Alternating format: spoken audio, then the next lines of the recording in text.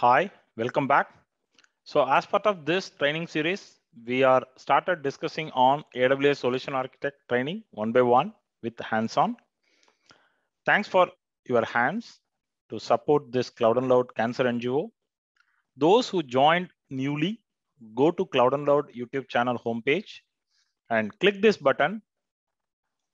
Accordingly, you give a hand. If you are going to be just learner, click join with NGO family according to your uh, uh, participation. If you are really willing to donate or give a hand on cancer NGO initiatives, you choose any of this according to your wishes, right? So today we are going to discuss on AWS Elastic Beanstalk, which is platform as a service before go and learn today class, you must complete the two classes, which already we completed. Go to YouTube channel homepage, open up DevOps CI/CD tools playlist. In this, go here and class six installation and class seven. So these two classes, if you completed with hands-on, with detailed exposure, then it will be easy for you to carry out Elastic Beanstalk in AWS, right? So go to this GitHub. For today class, I have placed one JPEG and three code, right? You can download it, but if you want to download, don't download like this, right? Go each and every file and there is a download button. Click this, right? Some of you uh, reported you are not able to uh, download because you don't download this. So go inside the file and click download, right? And first we will see what is Elastic Beanstalk. Let's go to this uh, diagram, right? So without Elastic Beanstalk, if we want to deploy one web application, what I need I need a Java code. If, if I uh, going to develop my code in Java, then Java source code I need. Then using Maven, I need to compile, right? So using Maven, I need to compile. Once compile and build, I will get a WAR file, web archive file. And in this uh, WAR file, I need some web application server, right? So you need to install some Windows or Linux machine. And in that, you need to install Tomcat or WebLogic or WebSphere or Glass, some web application server and deploy this WAR file. And then you need to expose it outside with restricted, with uh, uh, uh, controlled manner, right? So you need one load balancer, application load balancer. And this load balancer, again, if you want to expose it as a professionally, then you need a proper DNS name, right?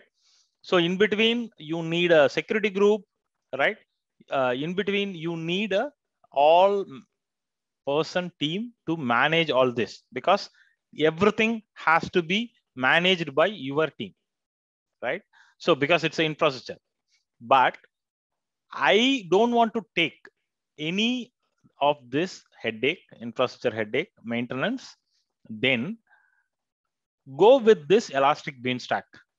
This part, let me change the color. This part, you need, we need to come up with, come with only WAR file. After WAR file, whatever the environment will be taken care by Elastic Beanstalk. It is fully managed service by AWS team, right? So go here, see here, so as per this diagram, the code is yours, but the underlying infrastructure with all security, OS and server, basically a, a resource, everything will be managed by Elastic Beanstalk. This is a platform as a service, right? You come with the code, you uh, deploy it and use it. That's it, right? And also in this, you need to uh, mention the auto scaling rule because if there is a load increase, you also need to have some automation, right? So everything will be taken care by Elastic Beanstalk. let's go inside Elastic Beanstalk. First, I'm creating an application, right? Click it. I'm going to say Node4.js, right? Node.js or Node4.js. So I'm going to give as a Node.js, come down. So I'm selecting Node.js and upload your code because I have my code. I already kept in my uh, local disk, right? So Node.js selected. Come down, say create application. So when you, while you create, open your instance, EC2 instance window and immediately check there is no running instance and there is no load balancer. Click load balancer and wait. So there is no load balancer and there is no auto scaling group so that you will have some difference when you launch complete elastic beanstalk so there is no auto scaling rule right so let's wait so the environment is getting created. As per this diagram the environment is getting created. So the load balancer will be created the auto scaling group will be created and target group will be created and instance will be created. Instance will be associated to that target group right? So let's wait, see the target group named. So let's go to EC2 and say target group, click it. Let's check whether it got created now as part of the Elastic Beanstalk.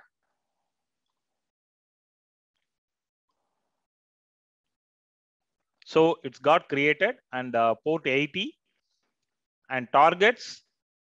Let's wait for some time because it's in uh, progress, right? So there is a security group got created. Open EC2 in another window also. Go to security groups and make sure you are able to see the security group. See here, there is a security group, right? So you no need to do all this, but if you are planning without uh, Elastic Beanstalk offering, then you have to make sure all these things in place. Let's wait for a few more uh, minutes. So in the meantime, you also go and check the auto scaling group, whether you are able to see newly created auto scaling group. Yes, it got created. So it, it, it created with minimal, right? Minimal, maximum four instance, minimum one instance. But of course, you can create according to your environment. As of now, I'm trying to make you comfort in the logic for Elastic Beanstalk, right? So let's wait for it.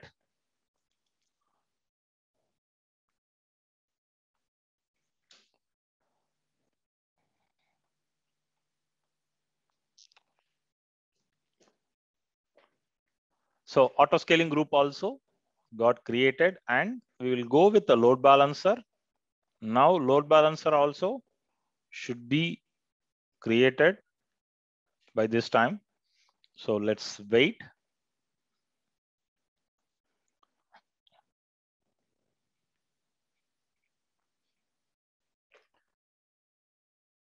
So load balancer is almost, uh, uh, it's, it's in a provisioning state. So it's active now. So go to listeners and integrated services. Let's wait for some more time.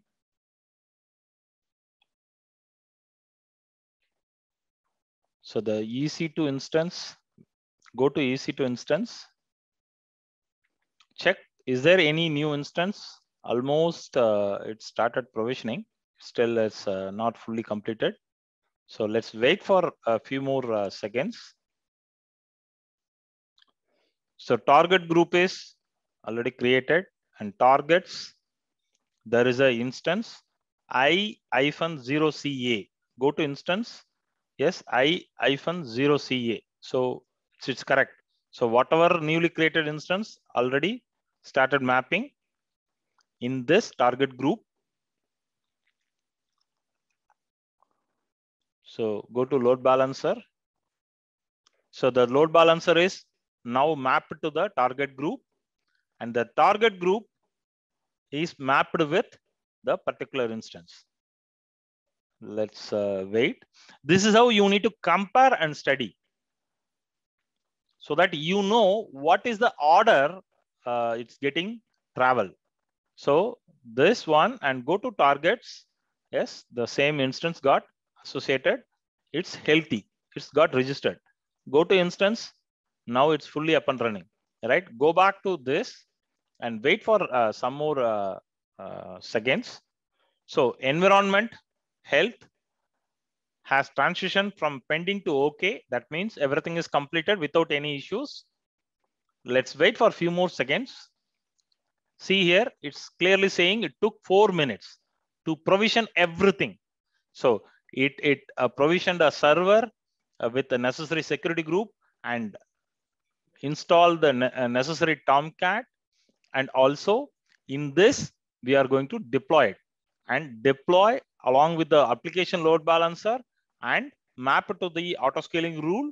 And we uh, have got this DNS name, right? So, and health also, okay, which means we are good to go, right? So click this. Now we are seeing our web application, test web application is up and running, right?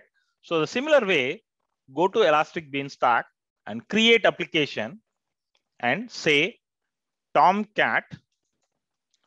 Now we are uh, discussing on the standalone application, right?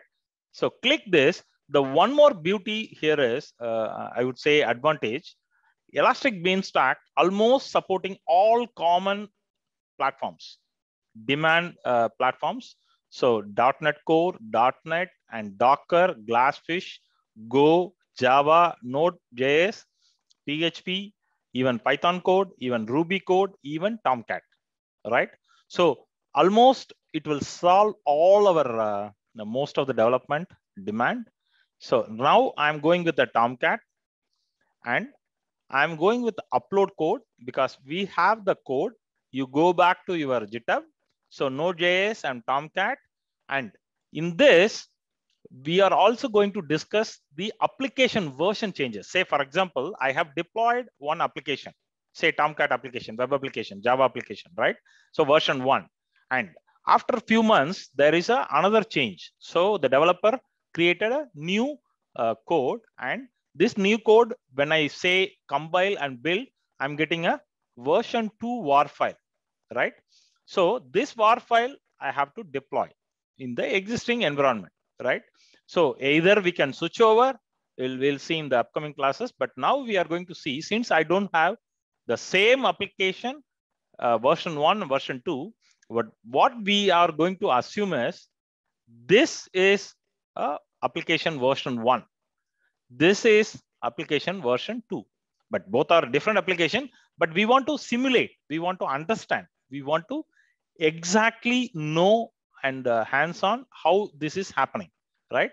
So clear this and go to Elastic Beanstalk Manager, choose file. Now I'm going to select the Tomcat. Come down, say create application. So the similar way, it is going to create each and everything for this environment also. Finally, we are going to get the web application like this, right? Let's wait for a few seconds. We'll, we'll uh, resume shortly.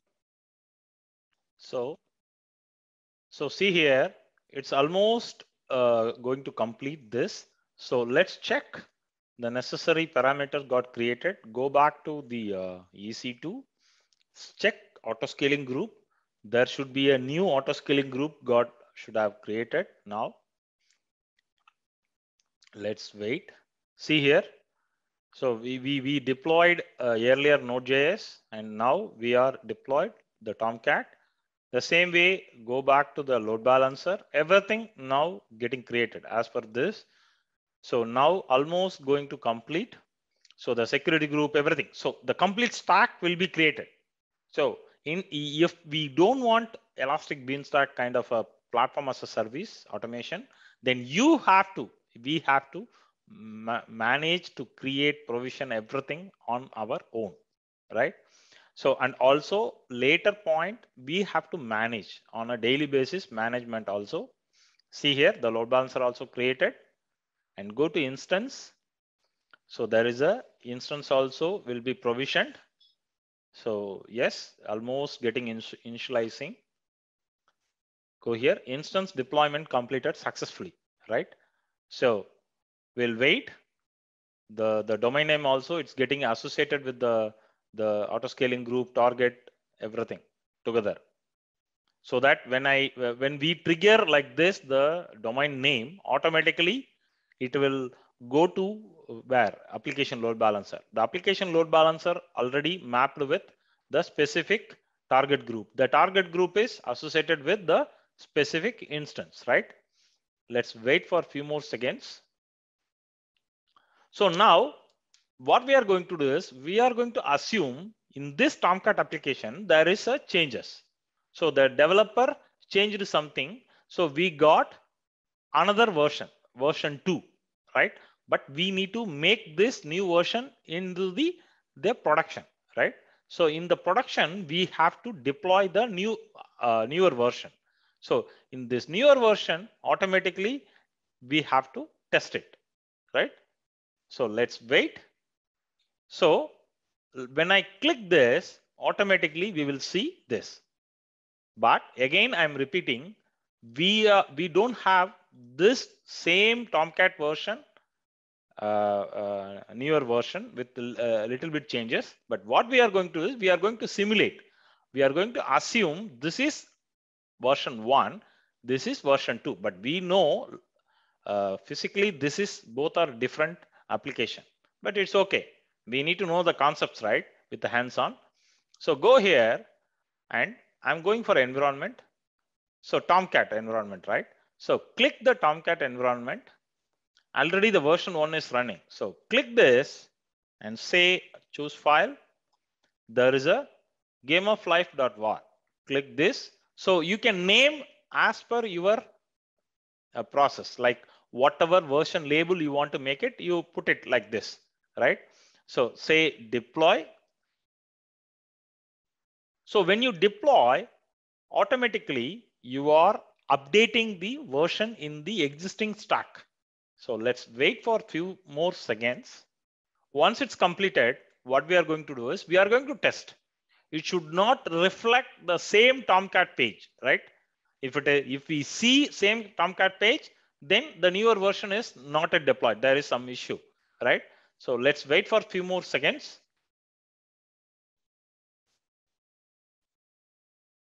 See here. So we are now able to see the newer version also got deployed. Say version 2 or, or newer some changes or some bug fix, right? Let's clear this. I'm, I'm going to access this. See now. So it is a completely new application, right? So copy this URL and go back to the notepad and paste it, right? This is the version, version two, right? Version two and go uh, back to the browser and go here and this is version one and copy this. See here, the URL is almost same. You can even copy the next line. So URL is almost same, right? So this is how you need to compare. So this is the version two, this is the version one, right? But the URL wise, there is no difference because it's the same application for the releases, right? So you can map this with uh, some DNS and make use of it stay tuned. We will come up with more uh, uh, hands-on sessions in coming days. And before that, I want to show you how to remove. So go to environments, each environment. So click the environment, say terminate environment, right? Everything will be removed. The whole stack, whatever is created, everything will be removed. You no need to go and delete one by one, all right? So I'm going to say terminate environment and uh, give the environment name. Name stack, the environment stack, say terminate. So it will take some time, right? Because it has to uh, delete one by one how it got created, right? So the same, go here and say terminate. So already started. So go and say terminate. Tomcat environment. So copy this and put it. Say terminate. That's all. So stay tuned. We'll meet in a coming uh, more hands-on sessions. Please support Cancer NGO initiative. We all grow together. Thanks everyone.